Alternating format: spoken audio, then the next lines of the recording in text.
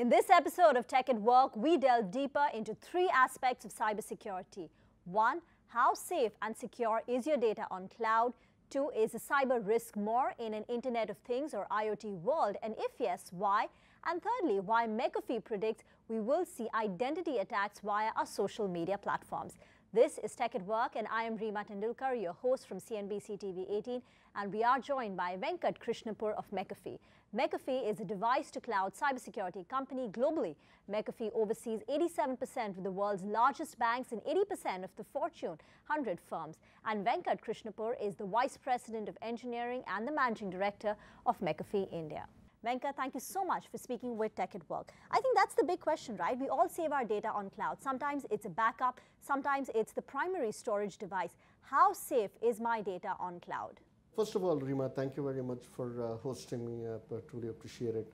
Uh, let me just begin by saying, uh, you know, how the the uh, uh, you know patterns have changed over the the last few years in terms of how people have been, you know, transacting with their data. And um, in order to reduce the infrastructure costs, today what we are seeing is a uh, significant move towards uh, the cloud, which means that the uh, enterprises are leveraging both uh, public as well as hybrid clouds uh, in order to uh, you know store their data and retrieve their data. Um, just from a statistical perspective, you know what we have seen is a 23% increase in terms of you know how much data is being you know transferred and transacted in the cloud um, uh, you know, from corporates. This is uh, based on the uh, threat assessment that we did, talking to over 30 million, you know, or looking at the data patterns of 30 million customers. The other thing that we've also noticed, just from a you know statistical perspective, is that uh, almost 21% of that data that is actually transferred to the cloud uh, is actually very sensitive. It could be IP related, it could be a business uh, document, it could be something else.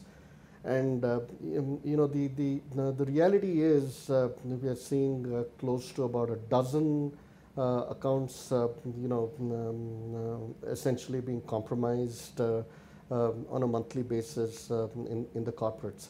So I think the problem is getting huge. you know, as much as we see, you know, we all tend to think that yeah, you know, we have data. In, in Azure, AWS, uh, Google Drive, Box, they're all well protected. Uh, I think what we have to uh, you know be alert to is the fact that uh, uh, there is uh, definitely risk of losing data if you don't have the right means of protecting yourself. Venkat, that brings me to the next point. I take your point completely that cloud adoption is going up. Increasingly, we are storing a lot more sensitive data, 21% of the data, as, as your report suggests. Uh, but why are cloud accounts getting hacked? You said a dozen of accounts are being compromised. Um, why is that happening? So, um, you know, it's, um, uh, you know, basic uh, etiquette to a large degree in terms of how uh, people need to uh, transact uh, business online. Oftentimes, it is very simple things such as, you know, not making sure that you have a strong password, which is you know oftentimes the case. So mm, you know it's uh, uh, not too hard for people to uh, mm, guess your password. And often, you know what we have seen is there are mm, a lot of people who tend to use passwords like one two three four or just password or no password, etc.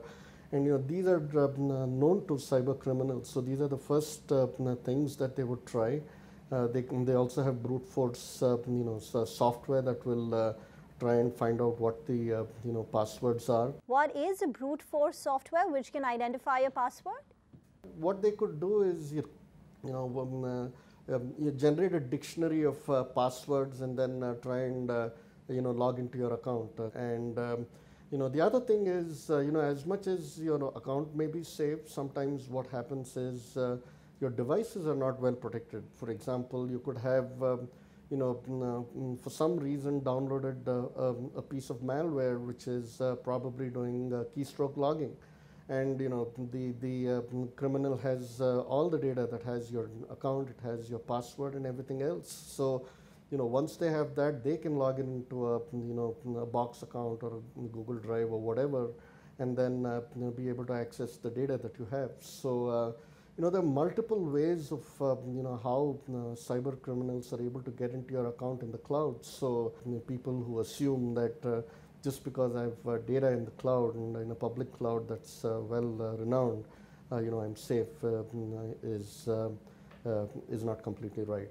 Anyway, there's no such thing as it's stored in the cloud. What is a cloud? It's someone else's computer and how safe can that be? But Venkat, I remember a couple of years ago, these celebrity photos were leaked. I think it was in 2015 after their iCloud account got hacked. What was the reason? Was it because their uh, passwords were not secure enough or there was a phishing attack? The uh, methods that you just described are the most common ways of, uh, you know, how uh, cyber criminals tend to uh, go after the online uh, accounts, right? So the uh, the important thing to realize is that uh, you need to make sure that you're adequately protected. For example, you know, uh, regardless of whether it's AWS or whether it is Azure or whether it's uh, Google Drive or anything else, you know. Uh, the real thing is you've got to make sure that you know the basic account itself, you know, from a configuration perspective, is is well protected. So um, um, you know, we have uh, products that will, uh, you know, scan through the, the account, make sure that, uh, you know, your password that you've set is strong. We also have, uh, you know, DLP for, you know, when you're uh, transferring data to the cloud, um, our data leakage uh, protection product could, you know, swing into action and then make sure that your data is encrypted and then, you know, there's no data loss. The most important step, of course, is, you know, uh, you need to be educated as well. Um, so a couple of things, right? What, what, what is it that the uh, malware uh, guys are trying to do? Um, they're really looking at two things. Um, the vulnerability of the human mind and the vulnerability of the uh, ecosystem, uh, which could be your machine, your operating system, or whatever. And uh, what do I mean by uh, you know vulnerabilities of the human mind? For example, a phishing attack is an example of um, how one could uh, easily fall prey to a, um, an attack. Um, for example, uh, you get um, a message like uh, free gold uh, um, if you click on this link, right? I mean, you've got to be very suspicious of uh, mm, uh, such emails. Mm, the only way I guess you will get free gold is if you find gold on on the moon, and then you know the value of gold comes down so much that you know, literally the, the but mm, you know, people have to be alert to these kinds of things, these frauds. Uh, people, so mm, mm, what's really happening is uh, this is what uh, we call as uh, social engineering. Uh, people are manipulating the human mind so that they click on bad links, and you know, the moment you click on bad links, uh, you know, you download software. It could be on your mobile device, it could be on your laptop, it could be on your iPad. It doesn't matter which device it is but the moment you have uh, you know a malicious program running on your uh, on your machine could uh, hack into your account and uh, harvest your email addresses. It could take pictures of yourself. It could do keystroke logging so it knows uh, you know it's sending information constantly to another uh, control center somewhere in some part of the world. So the moment you have downloaded malicious software without your knowledge you know the sky is the limit in terms of what the hackers should be able to do. There's no free lunch, so let alone uh, no free gold, definitely. But you know, McAfee assesses various storage devices, cloud being one of them. Which is the safest way to store your data now? Overall, if you when you look at uh, where you can put your data, the public cloud is uh, certainly a you know a safe place to, uh, to store your data. Even even as I speak about you know the risks, what we're talking about are risks that are controllable to a large degree. And what you need is a common sense approach in making sure that you're uh, following the simple basic steps so that you don't fall prey. And the second thing is to make use of the right tools. Uh, so the point I'm trying to make is, you know, the cloud is an absolutely safe place to put your data in, and that's really where people are putting their data in. So, mm, but it, mm, in addition to that, what you do need to do is, of course, uh, have that extra layer of security that you know the, the standard vendors will not be able to provide. So nothing is 100% safe. The only thing which complicates matter in say a public cloud is there's very little transparency. It's not that you can go to the data servers and you know find out where your data is saved. But let me move on to the other point that is internet of things or the IoT world that we're currently living in. So right now my laptop, my watch, my phone, my smart, my home, it's all smart and it's all connected. So therefore is the cyber risk more in an IoT world and if yes, why? And how is it, you know, how is my data being compromised more in an IoT world? Well, that's a great question, Reema You know, when you look at uh, uh, you know the world that we live in today, uh, uh, uh like you just described, uh, there are a plethora of devices that are interconnected. you know, to the to the network, and what we're really predicting is anywhere close to 50 to 60 billion devices that could be connected you know, over the next couple of years. And what that really means is, uh, you know, just look at it from, uh, you know, a cyber criminal's uh, standpoint, right? He's like, the more the merrier. Um, uh, all he needs is uh, the, uh, the more people and devices that pile onto the bandwagon, his statistical probability of being able to you know, make money or do damage is exponentially going to increase.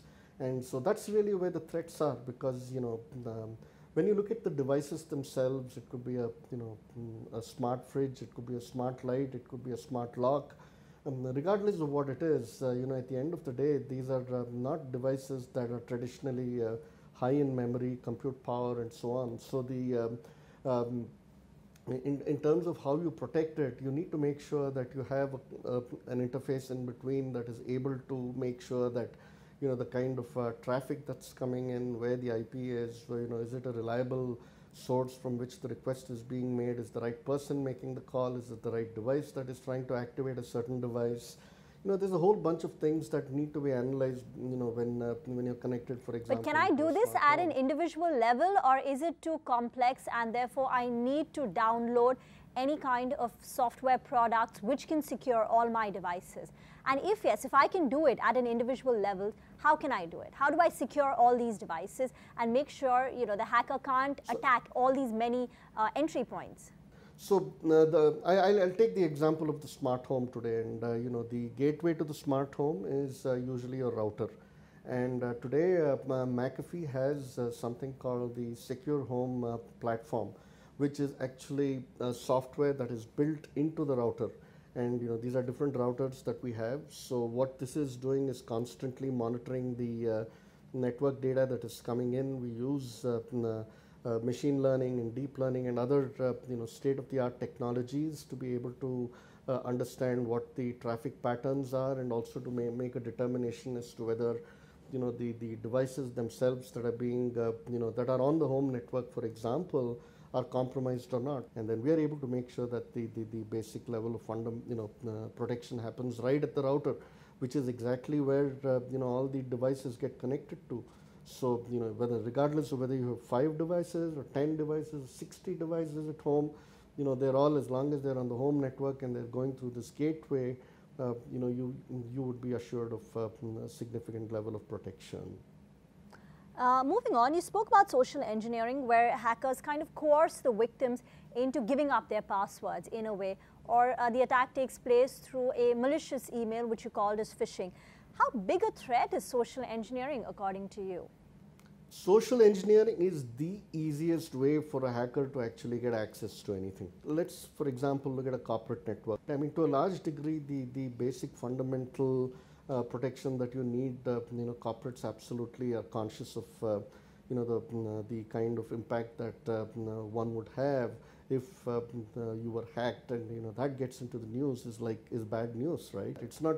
You know, it, it takes a lot of effort to actually break in into you know to to a a well uh, solidified uh, security environment. Uh, the easiest way is to actually socially engineer or um, uh, what I mean by social engineering is to uh, exploit the vulnerability of the human mind, like I was just talking about, uh, mm. you know, a couple of minutes back, which is, uh, um, you know, you're essentially uh, um, foxing somebody or, you know, making mm, somebody click on a bad link and then enticing him with all kinds of offers. It could be, you know, it could also be fear, you know, where you get an email that says uh, your account has been compromised in this bank, so uh, please click on this link and uh, you enter your password. And banks and others will never send such emails, and you know not everybody is aware, right? So uh, what happens is um, the moment you click on these links. Uh,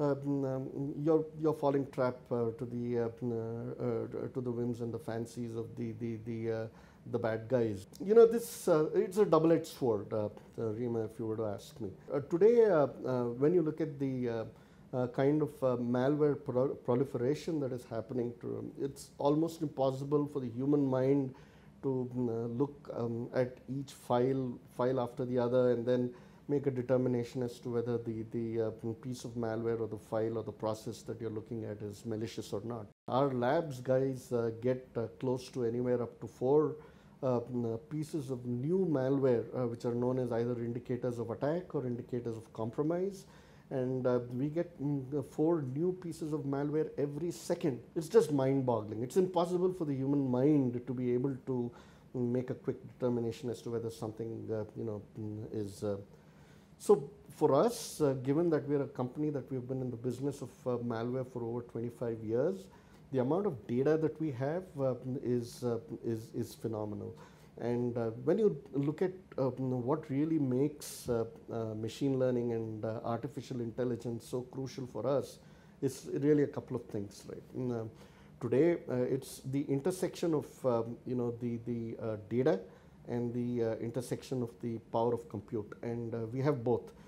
from a data perspective, we have the volumes, we have the variety, we have the velocity, and this is ideal for us to be able to make you know to use artificial intelligence in order to uh, you know determine if um, there are uh, certain behavioral patterns, it could be something else. That said, you know you've got to remember that the the uh, you know we live in a cat and mouse kind of a world, and you know as we make progress, the uh, the bad guys are trying to make progress. So. Um, in fact, so what's happening really is uh, the bad guys uh, beginning to use artificial intelligence to you find out how we are machine learning. You know, how do you stay ahead of this game? Because uh, uh, criminals are using the same technologies that we are using. How do we make sure that they don't uh, get ahead of us? Right. So uh, this is where we have something called adversarial uh, machine learning. it's one of the aspects of how we take this into account and make sure that you know, our uh, the machine learning algorithms are uh, um, uh, robust and rigid enough so that you know the criminals not able to play around with the data and then fox our systems and outsmart us. One thing you can say about hackers, if they want to target you, they find a way in, whether it's from your door or it's from your window. And if that doesn't work, then they'll go to the second floor and come right in and attack you. So one thing that I picked up is that um, do not set very simple passwords. Let it be a little more complex. Do not have your traditional name followed by a 123 or a REMA 123 kind of a password. Um, you know, you can have a two-factor authentication as well when it comes to your passwords. And secondly, be a little wary of um, you know, two good sounding emails, which could be a little malicious. Is there anything else in one line that, uh, you know, a, a viewer or um, an individual has to be careful in terms of protecting its data online? It's just a combination of common sense and making sure that you're using the right basic set of tools to stay protected online, Reema. There's really nothing more to it. And common sense is like exactly what you just described, which is uh, safe passwords, strong passwords, making sure you don't click on bad links, you don't fall prey to messages that are, uh, you know, mm, mm um, uh, that will give you a pot of gold, and uh, you know, basic common etiquette that you need to follow, and of course, uh, supported by a set of basic tools that you need because. Uh, you know, you're not going to be able to handle everything yourself, and you do need uh, tools to tell you and warn you and make sure that you know you, you're protected. And I think between these, between a combination of these two, you will be safe online. Venkat, thank you very much for your time and throwing insights on how to protect your identity and your data in this digital world. Thanks again for watching Tech at Work. I, Reema Tendulkar, will be back with another episode. And remember to subscribe to our podcast on anywhere that any of the platforms where podcasts are available. And you can also watch the video interview on YouTube. Thanks again for watching.